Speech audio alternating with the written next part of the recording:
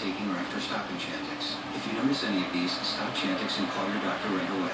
Tell your doctor about any history of mental health problems, which could get worse while taking Chantix. Don't take Chantix if you've had a serious allergic or skin reaction to it. If you develop these, stop Chantix and see your doctor right away, as some can be life-threatening. Tell your doctor if you have a history of heart or blood vessel problems, or if you develop more or worse symptoms. Get medical help right away if you have symptoms of a heart attack or stroke. Use caution when driving or operating machinery. Common side effects include nausea, trouble sleeping, and unusual dreams. I'm a non-smoker. That feels amazing. Ask your doctor if Chantix